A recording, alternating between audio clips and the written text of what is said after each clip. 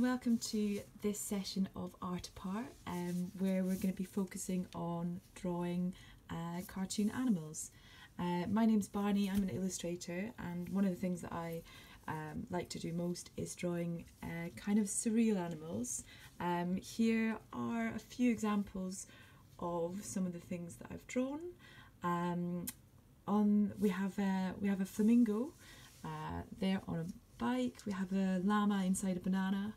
Uh, we have a ram uh, with lots of bling on it. Um, and we have a capybara, the, you know those large rodents from South America, inside a carbonara, and a gnu inside some glue, uh, a yawning fawn, and uh, and a dandelion, kind of yeah, a lion with a sort of dandelion thing. Um, so what we're going to do is we're going to go through how to draw three different animals today. Uh, we're going to do a giraffe, a tortoise and a fish. So what you'll need for the drawing workshop is very much the basics. Um, paper or a notepad or an art pad, pencil, pen, rubber and colouring pencils. Um, so I thought we'd start off with the giraffe. Um, and uh, so the way I would normally draw um, a cartoonish animal is I would start with the eyes, just use that as the basis point. Um, so it's just a case of drawing a circle and a dot anywhere where for the pupil. Um, it's often easier with these um, beasts to draw them side on, sort of profile style. Um, and so yeah, so I would then kind of create a line down here that would create a kind of silly nose face for the giraffe there. Um, and then on top of the eye, I'm going to add these little things, horns that they have, they use for fighting called ossicones. Um, I always think that's such a great word. Uh, and then a swooping uh, movement for the ear, like so. Um, and now onto the the long neck, which goes down in a sort of very yeah, smooth a smooth journey down there, um, and then the other side kind of following suit. And uh, it doesn't matter whether it's entirely accurate or or not. So kind of nice circular for this. I'm just going to draw his his legs. That's just um, endless legs here, and, and swooping down. Um, and then adding a little tail. I believe they've got ones uh, like this style.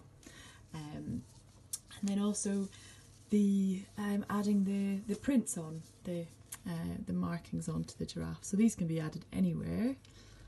Um, so the giraffe is the world's tallest mammal, and uh, but however its neck's not long enough to actually um, reach the ground. So they have to awkwardly maneuver if they want to pick up something from from down yeah from down on the on the um, plains um, kind of like when camels do that thing where they sort of um, move about like in a strange way to pee.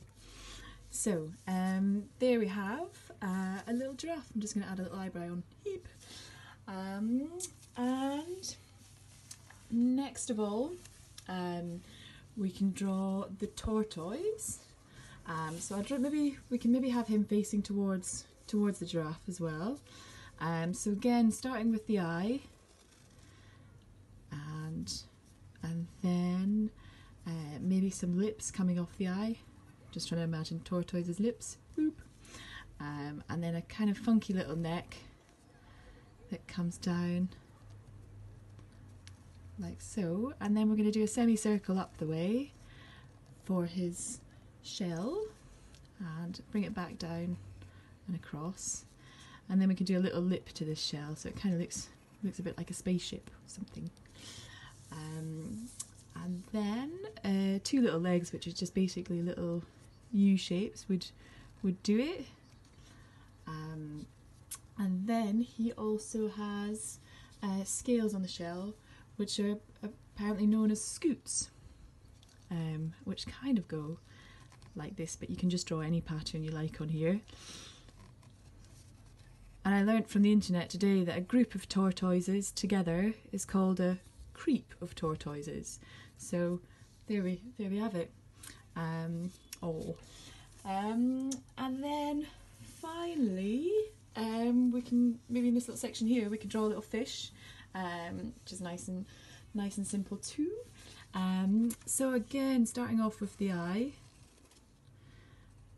and then maybe similar lips to the tortoise, beep, and a nice swooping semicircle like this, um, and then a little triangle at the end, and a bit of detailing, and um, fins and gills.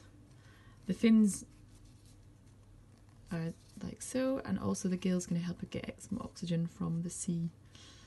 Um, and uh, little bubbles here.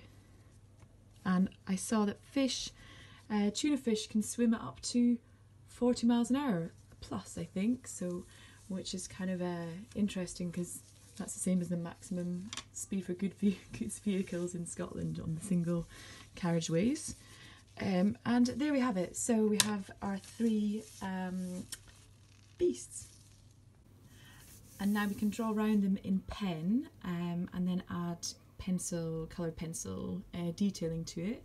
Um, I've got a selection of colouring pencils, but I'm not sure what colours are the right colours, but I'm just going to mix and match and make them kind of fantasy style.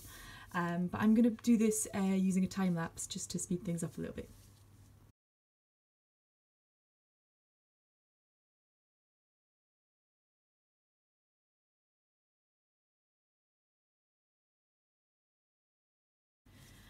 And there we have our three cartoon animals. If you'd like the challenge to try and draw another animal using the same style, using the same technique, um, yeah, uh, that'd be great. Thank you for joining in, and um, and stay safe and sane until next time. See you.